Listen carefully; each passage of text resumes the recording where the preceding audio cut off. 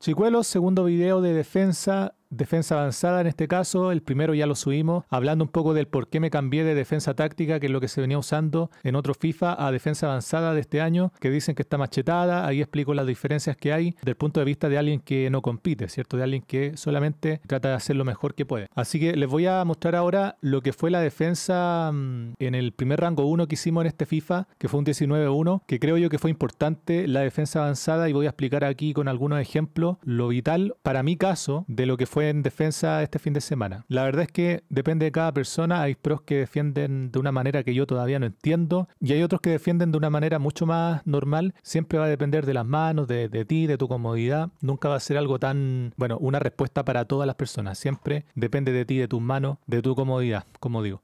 Chicos, acá en defensa, para los que no saben, que esto lo explico en el primer video, ponen avanzada. Aquí hay una clave, bueno, que yo he visto muchos videos en donde hay gente que dice que no ahora no se usa el L2 para defender. Yo no lo veo tan así, porque yo defiendo igual que con la táctica, con la avanzada, defiendo de la misma manera. No es que yo presiono la o, cambio la avanzada y empiezo a defender siempre con X. No es así. Yo de la manera en la que lo veo es que con la avanzada defiendes igual, la diferencia es que tienes más libertad de usar el meter el cuerpo. Pero para defender con L2 es exactamente lo mismo. Yo lo veo de esa manera. Yo defiendo, bueno, cuando me cambié a avanzada, empecé a defender full X todo el tiempo. L2 más X o X sola todo el tiempo. Y noté de que así no es como se defiende en la mayoría de las jugadas. Porque tú cuando estás tratando de defender una contra, tú no estás defendiendo el balón, estás defendiendo la jugada, estás defendiendo el pase. Y para defenderlo tienes que presionar L2, hay que presionarlo. Y en la mayoría de las situaciones que vamos a ver ahora, por ejemplo, el L2 es clave, chicos. Ya, así que usar L2. No hay que usarlo tal vez cuando vas a meter el pie. Cuando vas a meter el cuerpo puede que sí. Cuando vas a meter el pie, cuando te vas a barrer, obviamente no, porque no, hace falta. O cuando te quieres mover rápido con el jugador, lo sueltas un poquitito. No es como que lo mantienes presionado todo el tiempo, porque este año es mucho más lento. Pero es el único botón para defender la línea de pase. El único botón, así que no es que no lo tienes que usar, chicos. Bueno, vamos a ver lo que son las jugaditas, los ejemplos. Para que entiendan un poco mejor. ¿Qué es lo que hicimos aquí? Aquí voy a intentar eh, ver todos los ejemplos a detalle. Básicamente, bueno, vamos a ver la jugada repetida porque igual el mando ahí se me olvidó eh, acercarlo. Si ven el mando, si le, si le prestan atención, no apreté ningún botón, solamente L2. L2, ¿ves?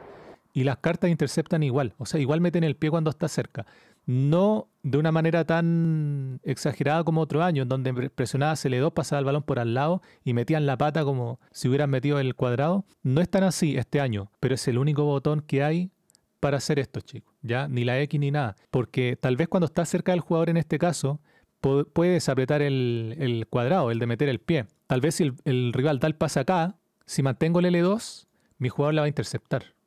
Y si no la intercepta es porque el juego no da más. ¿Ya? Porque hay muchas jugadas en las que el juego no va a dar a más. No, no hay ningún botón mágico para interceptar absolutamente todo. Tienes que tomar eso en consideración, ¿ya? Pero el L2 es clave, chicos. Aquí presiono el L2 un poco tarde. Esta es una jugada mal defendida, porque aquí con no tienes que hacer esto, chicos. Pero es para el ejemplo de, de lo que es el L2, ¿ya? Cómo intercepta. Aquí no tienes que sacar al central. Yo la verdad es que cometo muchos errores, pero lo importante es darse cuenta. ¿ya? Cuando uno está jugando, la verdad, tampoco estás compitiendo. Entonces, eh, a los pros también les pasa cuando juegan partidos así ya de FUT Champions o algo así, como no están en el modo así de ya cada detalle importa, cometen muchos errores también. Eh, así que bueno, este, este, estas cositas igual se debe a la confianza. Si tú tienes confianza, vas a sacar más a los centrales muchas veces. Aquí, esto es clave, chicos. Ya, esto es un tutorial de defensa igual un poco más completo, no solamente lo de defensa avanzada. Aquí, ¿por qué eh, defendimos esta jugada? Porque no fui al balón, chico. Aquí mucha gente lo que hace es ir al balón, a atacar, porque se sienten en, eh, en peligro, ¿cierto? Esta es una zona de peligro, donde está ya, hace un movimiento y puede quedar solo. Pero lo vital, chico, es que tienes que notar todo lo que pasa alrededor, no solamente lo que está pasando con el balón. De hecho, eso es lo menos importante, porque un pase y queda solo. Pero si el rival se gira, va a tener a tu defensa adelante.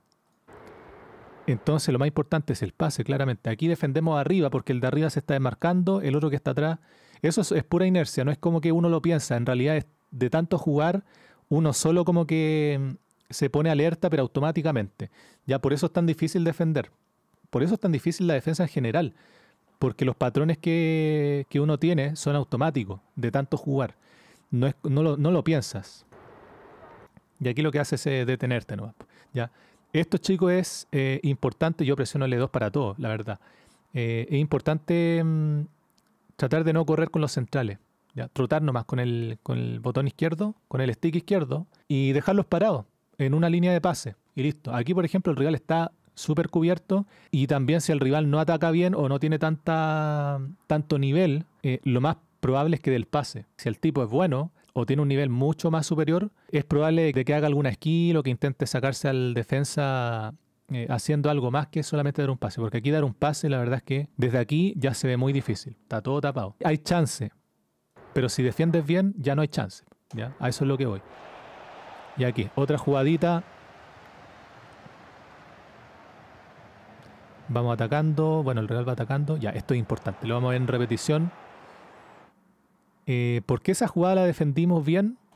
Primero, porque el rival mandó a correr al delantero. Bueno, no lo mandó a correr, pero e, era un pase, un pase posible. Y nosotros con el lateral, acá arriba, vamos siguiendo al delantero. Porque si mi otro defensa falla, queda solo. Mano a mano jalan. Y es importante defender el pase, chicos, siempre. Ahí lo defendemos. ¿Y qué pasa en este caso? Que el rival da el pase atrás y me da tiempo a ir a presionar con esa carta. Ya cambiamos al mediocampista y aquí cuando noto que el rival empieza a correr, que esto es lo que no tienen que hacer chicos, ya en el caso del rival no tienen que presionar el de correr casi nunca, porque en banda, en banda sí, pero si ustedes presionan el de correr y el rival defiende bien, va a pasar esto. Si el mediocampista es rápido, estáis cagados. Ya, estáis cagado, porque por eso la gente que defiende tan bien te presiona tanto o pareciera que presiona tanto. Porque como tienen más confianza en defender, se tiran encima, son patrones. Ya ellos tienen automatizado ya, ya el tipo es muy probable que haga esto, entonces se lanzan. Y como uno no piensa en eso y empieza a correr, termina perdiendo la pelota. Y más encima el rival da el pase. O sea, aquí probablemente lo mejor era una pisadita. La gente que, que que tiene mucho más nivel que yo, siempre da una pisadita en vez de dar el pase. O sea, siempre lo, más importante es asegurar la pelota antes de dar el pase. Eso es lo que hace la gente que juega muy bien. Nunca dar el pase así por estar presionado. Chico, otra jugada. Aquí lo que hago es defender muy mal, chico. Esto no se tiene que hacer. Pero lo arreglo con la siguiente maniobra, que es bloquear la línea de pase, lo que digo, Esto es para la gente, es un tutorial de defensa, entre comillas, para la gente que, no sabe defender básicamente. La gente que sabe defender tendrá mucho más conocimiento que yo, pero estos son pasos vitales para empezar a entender un poco la defensa. Aquí defendemos una jugada que era mm, eh, más de adivinar a lo, que va a ser el rival, que eso, de eso se trata la defensa en realidad. A eso es lo que voy con los patrones, que son automáticos, que tú ya los tienes tan incorporados de tanto jugar que salen solos, no, no es como que lo piensas. Aquí es más que obvio que el rival va a dar el pase adelante, manda a correr al delantero o al mediocampista y nosotros con el lateral, que esto lo hago automático, ni siquiera viendo el radar porque no lo veo de hecho, es una jugada muy riesgosa. Pero si el rival no tiene un nivel tan bueno, a uno le da confianza hacer este tipo de maniobra. Ya voy con el lateral hacia adelante y gracias a eso quito el balón, o si no el rival ya se iba en la contra. Esas son jugadas de, riesgo, pero el, el, punto clave de esa jugada es adivinar lo que va a hacer el rival muchas veces. Aquí lo que hacemos es presionar cuadrado. ¿Por qué presionar cuadrado y no X? No presionar el X cuando me queda la última opción de defensa porque no aseguras. Con el X solamente empuja. Claro, con Pepe, por ejemplo, que tiene buen físico, todo eso, tal vez con el X aquí rompe a Ronaldinho, pero muchas veces eh, presionar X en la última jugada te deja peor. Te deja peor, chico. Yo sé que mucha gente que está defendiendo con la avanzada le pasa de que presionas X. Tal vez esta es una jugada cuerpo a cuerpo, o sea, es una jugada ideal para presionar X, pero muchas veces pasan de largo. Porque en realidad el jugador no va a la pelota, va al jugador, al rival. Y si el rival se escapa, la pelota pasa de largo. Entonces aquí presiono el, cuadrado, el de meter el pie, para básicamente quedarme con la pelota. Si le das tiempo y todo eso, puede que después llegue un, segundo delantero y del pase. Aquí es ideal, ya que va solo Diño, defender la jugada, defender al balón, mejor dicho. Pero a lo que voy es que el X en jugada al límite, bueno, la última jugada, traten de no usarlo, chicos. Traten de no usarlo porque muchas veces les va a salir una animación un poco rara. ¿ya? Muchas veces sale una animación espectacular y otra una animación rara. Eso, eso quiero que lo tomen en cuenta. Lamentablemente igual no puse jugadas así de X que no funcionaron. Ya no, no las grabé. Pero muchas veces pasa. Esta jugada es clave, chicos. Esta jugada es clave. Hay muchos pros que también hacen esto, de barrerse dentro del área. Pitan muchas rojas, sí, pero si tienes confianza, que eso también depende mucho de cada uno, hay veces en las que tú sabes que no va a pasar nada, ¿ya? Pero bueno, aquí lo clave es, más que la barrida en sí, esto es importante, esperar. Esperar y mantener el L2 presionado. Mantener el L2 presionado todo el tiempo no es tan ideal, porque como digo, bueno, este año la verdad es que el L2 es muy lento, pero a la vez, repito, para mí es el único botón para defender, chicos. Cuando estás defendiendo la línea de pase, ni el X ni el cuadrado te va a servir. ¿ya? Así que tienes que mm, defender con el L2 esta jugada. Y aquí, ya como le queda para el disparo, tal vez con un cuadrado habría mm, recuperado la pelota. ¿ya? Pero yo soy, la verdad, es que bastante mm, directo para defender este tipo de situaciones en específico y lo que hago es barrerme. Barrerme, ojo, que esto también es importante. Si se dan cuenta, el stick derecho o al stick izquierdo en la parte, en el mando que está ahí arriba a la derecha, yo me barro, pero trato de no ir directamente al jugador, me barro con una distancia, ¿ya? No es como que estoy al lado del jugador y me barro y, lo rompo, no. En realidad lo que quiero es interceptar la pelota. ¿ya? Eso es lo que quiero hacer. Que después se barre y, bueno, mata al jugador igual, a la jugadora, eh, pero en realidad no es como esas barridas que son directamente así de frente, no, es una barrida para interceptar básicamente el tiro. Y si el rival se hace una magia me caga, pues, obviamente, y termina en penal. Pero es una jugada límite. De esas jugadas que tú dices, bueno, aquí me la juego. Eso te lo da mm, la, eh, el tema de los patrones, la experiencia, que obviamente en mi caso muchas veces no sale bien. Aquí, ¿qué hacemos? Quiero, quiero ver repetido esto.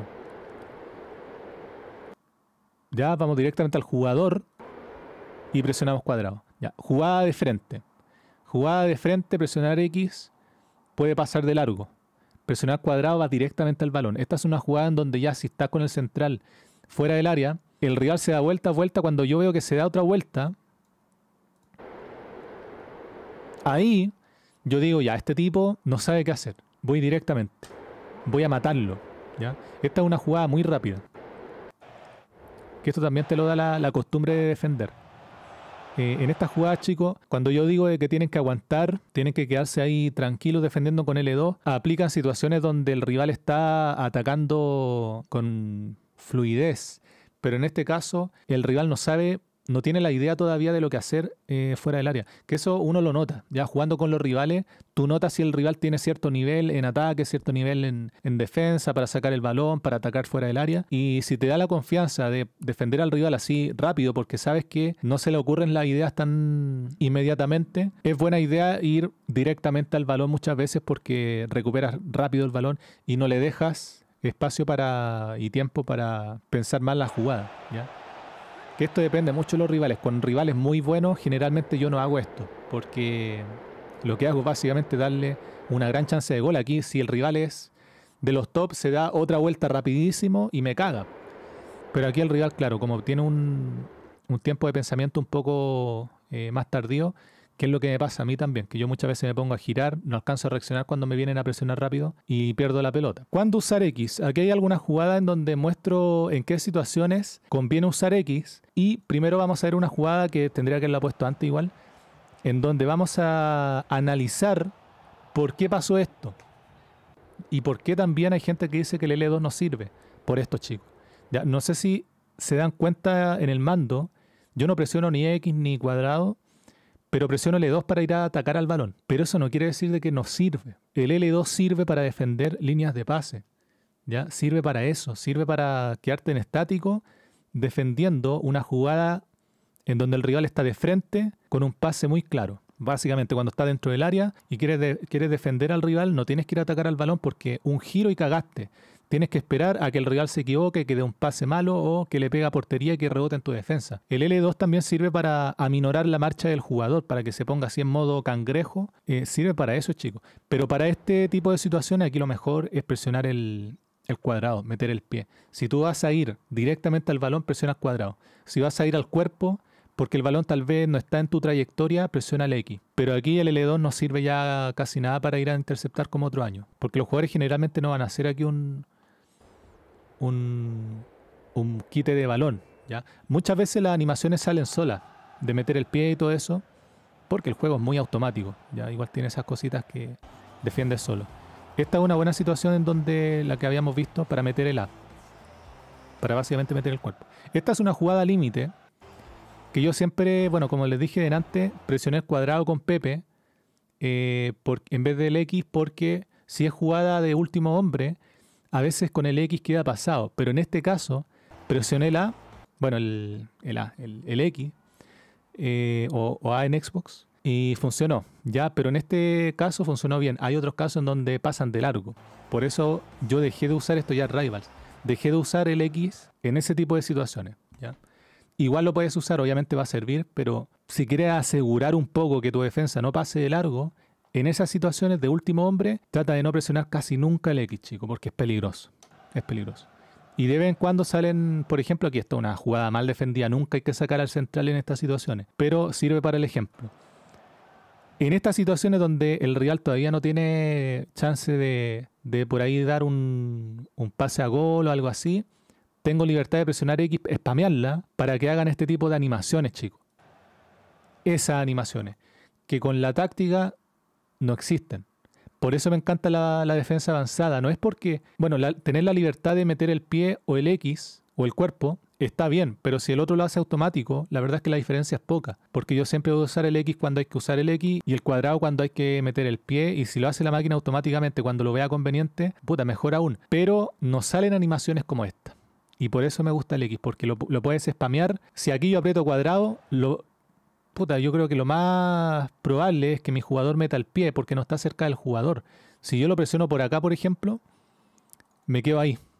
Mi jugador mete el pie y se queda ahí parado. Pero como está separado el botón uno del otro, me da la chance de spamearlo y hacer esto. Por eso, chicos, recomiendo que prueben la avanzada, porque te da...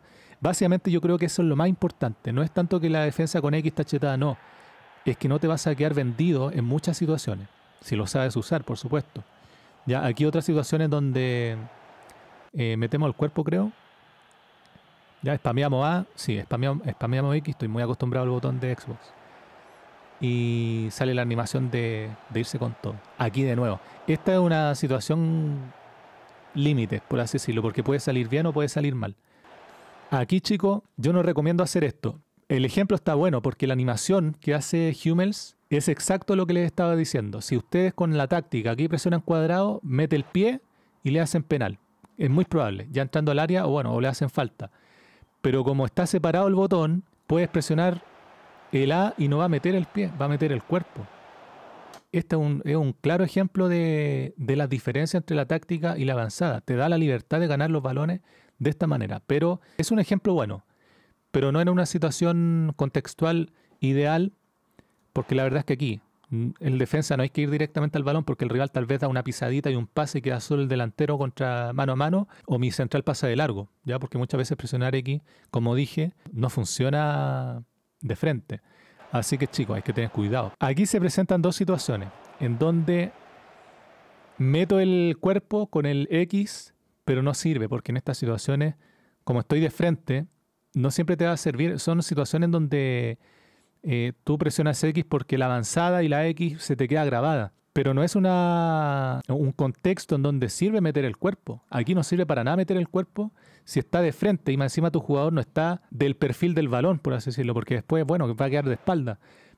Metes el pie con el cuadrado. En esa, en esa situación era ideal el cuadrado. Para remediarlo, nos barremos. La barría, la verdad es que en situaciones de límite eh, sirve mucho, sobre todo para las cartas que tienen rasgo. Creo que Fer tiene, tiene rasgo de barría. Claro, tiene el rasgo o el playstyle de, de barrerse. Y bueno, con esas cartas van súper bien. Las barridas y todo eso eh, generalmente no cometen falta. La defensa avanzada, chicos, es lo que dije. Como resumen, separa los botones y las animaciones de meter el cuerpo son mucho más exageradas y por eso me gusta tanto. Además de que la otra ventaja es que puedes spamear la X sin pensar de que tu jugador va a meter el pie en vez de meter el cuerpo, ¿ya? Porque con la táctica también meten el cuerpo, no tan exageradamente, pero meten el cuerpo súper bien, solamente que hay veces en las que tu jugador no, no va a entender que tú no quieres meter el pie o que la jugada está un poco lejos y por eso me eh, presionas el, cuadrado y se queda pegado porque mete el pie. ¿ya? Muchas veces a mí me pasa. De, yo no considero que defiendo mal, pero al menos en este juego, como los jugadores van más lentos y el L2 no funciona tanto para ir a interceptar, la verdad es que siento que me hace falta que mis jugadores metan más el cuerpo.